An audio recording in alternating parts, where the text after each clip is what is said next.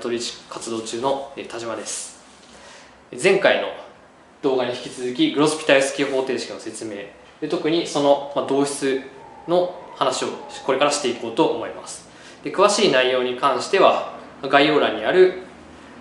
僕のホームページなので PDF ファイルなので、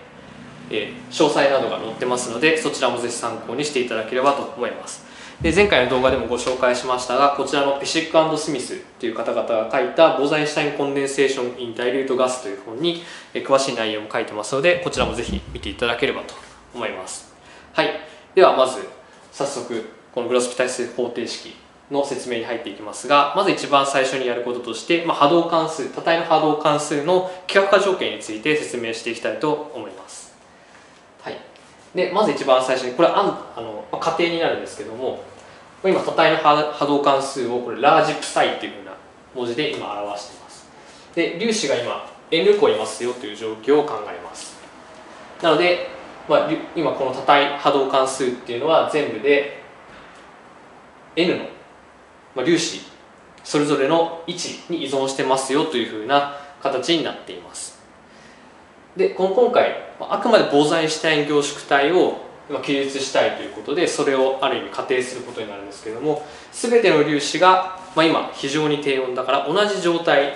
一粒子状態を占めてますよということを仮定します。これ single particle state というふうに今書いてますけども、まあ、この状態に全ての粒子が入っていますと。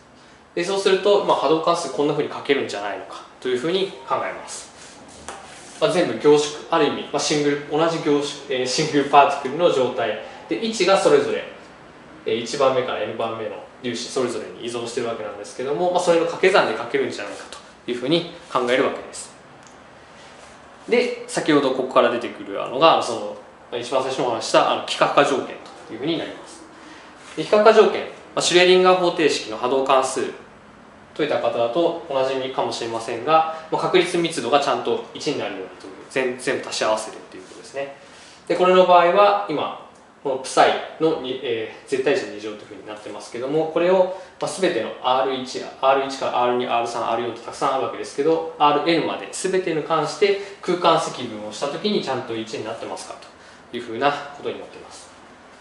でこれ実際こう上の形をここに代入してみると、まあ、ここにある種、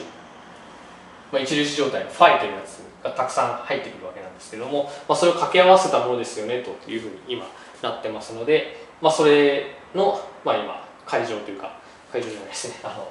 まあ、プロダクトを取るようなものになってますと。でこれまた空間積分が残ってるわけなんですけどもこれ R1R2R3R4R5 ってなんかたくさんあるわけなんですけど空間積分に寄与するのは当然同じ R の時だけなのでっていうのを考えてみると実はこれたくさんのファイ2乗の R 積分っていうのをたくさん掛け合わせたものが1になりなさいよというふうに言ってる式になってるわけなんですね。でそうするとじゃあ1個あたりのシングルパーティクルの状態どうなってますかっていうとこんなふうに、まあ、比較化されるであろうというのが分かるというふうな感じになります、まあ、ここからここの変形っていうのはえたくさんこれ掛け合わされてるやつに1個切り出してみたらどうなってますか。1になってないのに全部掛け合わせて1にならないよということから来てるというふうになってます。はい。というわけでまずはグロスピタイスキー方程式における波動関数の非可負荷条件についての説明となりました。はい。引き続き次回でもこの続きを説明していきたいと思います。どうもありがとうございました。